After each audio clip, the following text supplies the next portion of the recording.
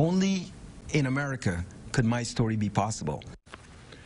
A new top general at Camp Robinson making history. Brigadier General Leland Tony Shepherd is the first African American to hold the title in the Arkansas Army National Guard. He sat down with our Neil Zarang for a one-on-one -on -one interview on what the achievement means for him and the future of Arkansas's military. Brigadier General Shepherd is one of five general officers who report directly to the governor's top military official. As the leader of the Army National Guard, he commands the largest military force in our state.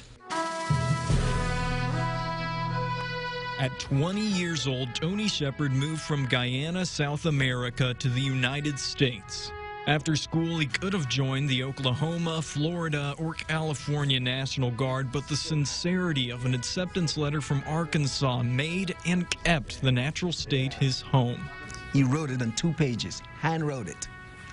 And that meant something to me. And so I moved without knowing anyone here in the state. Moving through the ranks, Shepherd wanted to give back his service for the opportunities given him. He witnessed leaders before him break ground, like Deputy Adjutant General William Johnson, who became the first African American general in the then 203 year history of the Arkansas National Guard. That allowed me to, to visualize what I can be as Colonel Shepard's motto was. You can't be what you can't see. So when he became a one-star general this month, he recognized the significance for all who will follow. It is a giant leap for African Americans across this state, across this nation, and across this world.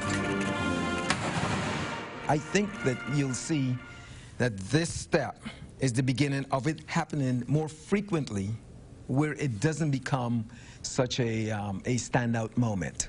And that's what I hope to, to see. While in charge of the Arkansas Army National Guard, Shepherd plans to put in place a robust diversity plan. However, he doesn't want his promotion to sidetrack the main purpose of his role, keeping the force at full strength and ensuring it's well trained. My role is to serve as a leader.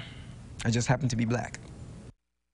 Brigadier General Shepherd also credits God for directing his path to the top. He prays every day for wisdom in commanding the over 6,500 soldiers under his charge.